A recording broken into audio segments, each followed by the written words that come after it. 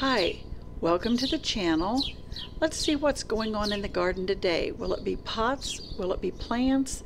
Will it be house plants? Let's just see what we can find going on. Hi, it's Kim, and let's talk about how I water plants. What I use is I found very, very efficient a multi-purpose sprayer, the kind you might mix uh, garden chemicals and uh, I don't know, bug spray.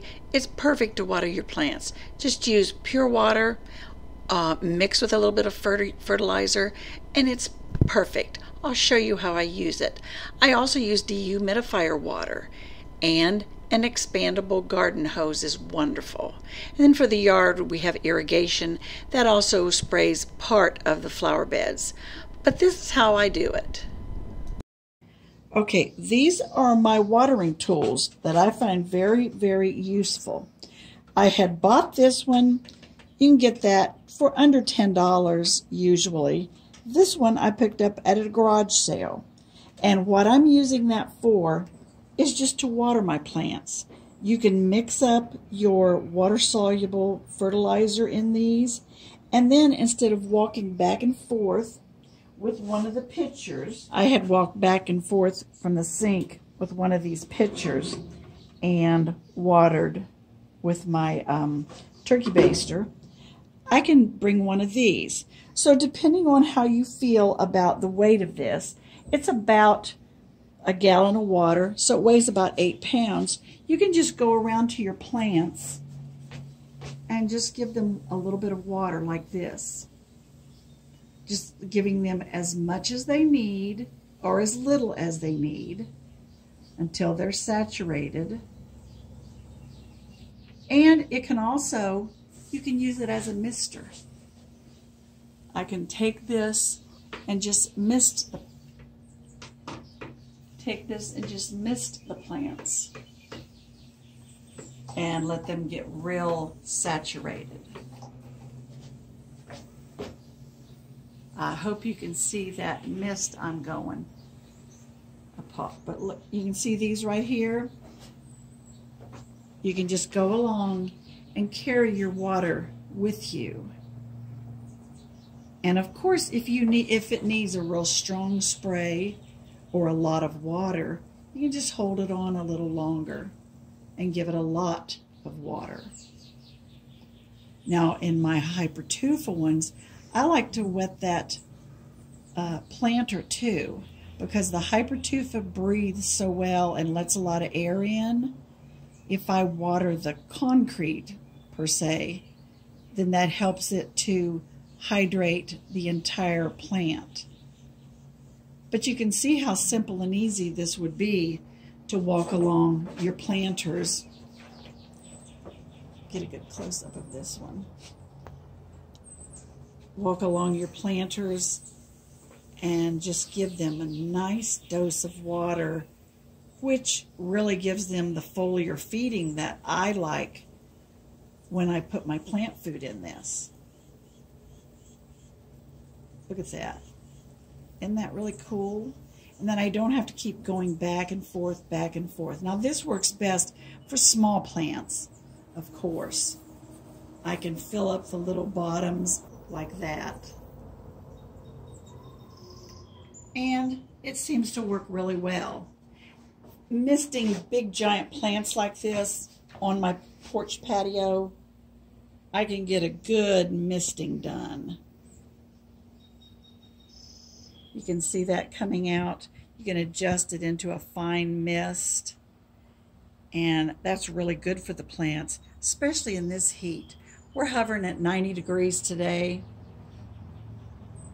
So for them to have a nice, nice bit of water to mist them increases the humidity, which a lot of these plants really, really love.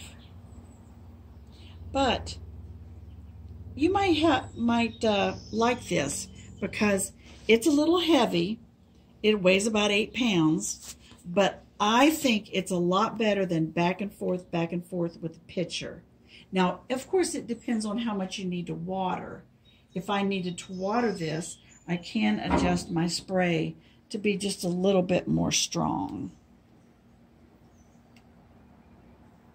Oh, I think I'm running out of my pressure.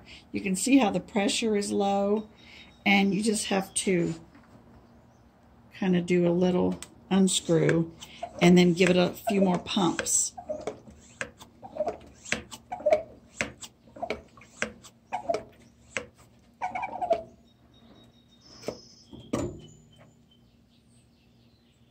And then you have a little bit of your strength back. So that's an idea for you to water your plants. And this works inside. Let's say if I were inside and I don't want to get water water on anything,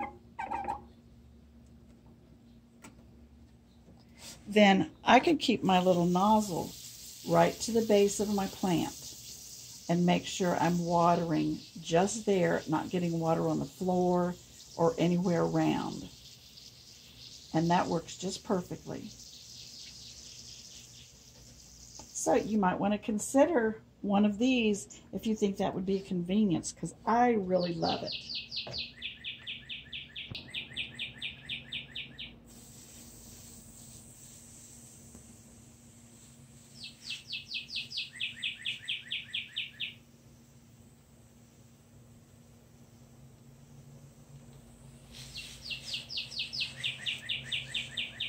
Okay.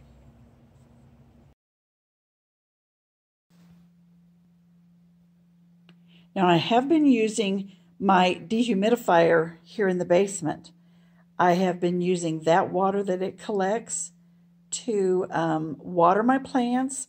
I figured it's very close to distilled water. And what I do is remove this um, container here on the bottom and pour it into my gallon jugs.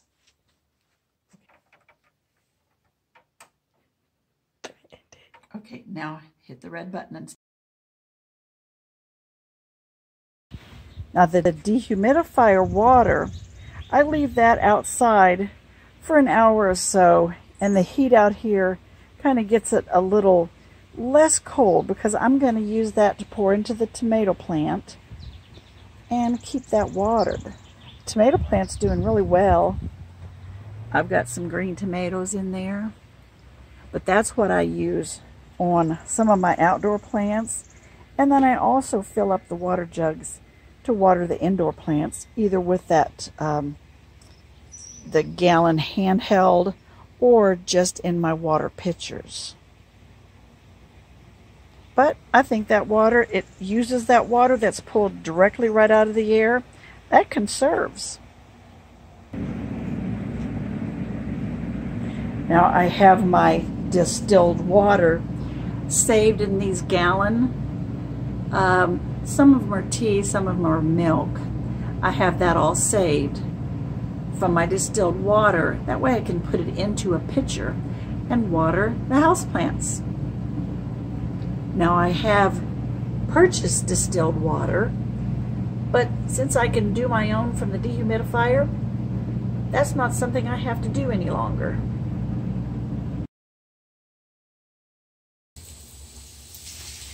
Now outdoors, I use a garden hose.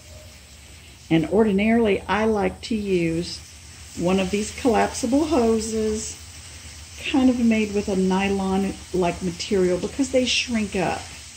I think this one is a different type that I've got here, but I like the little wrinkly shrinky dinks like I have out front. I'll show you that in a minute. But it's easiest to pull this around and to get everything watered real nicely, but it's light. Now these are ones that I have yet to hang and plant, but we can get them watered easily. And it doesn't matter if I get water all over the place, and I can water them a lot or a little, just depending on what's necessary. Now this one up here, that's my Mandevilla. Oh my God. that's my Mandevilla. And that has just been hung and I need to lower it down with some chain or some kind of uh, roping because it needs to be a lot lower so that I can get to it. But that plant is going to be gorgeous.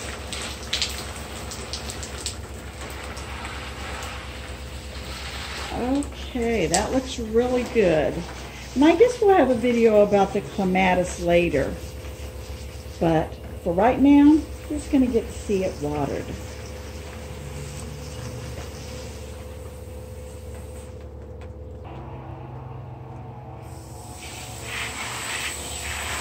I have my elephant ears down here too, those giant pots that we planted upstairs. I did bring those downstairs.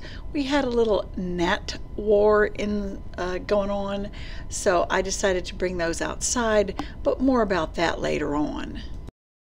Honey, where you go? Oh, Nana! okay. ah, what is this? You're not sweeping anything. I you have know. to do your duty. Uh-huh, okay. Look at that mess to sweep up. Look at that mess. Wait a minute. Not putting it under the garden bench isn't cleaning it up. Yes, it is. I need to explain things to you about cleaning up. No, you don't. This, this is my most favorite hose. It's the pocket hose, and it it's collapsible. It's real, I don't know, wrinkled, and then when the water pressure gets into it, it stretches out and makes a nice long hose. I, I think this is the 50 foot one, but I like it the best. They don't last forever, but if it lasts a season, it's worthwhile to me. It's my favorite to do my containers out here out front.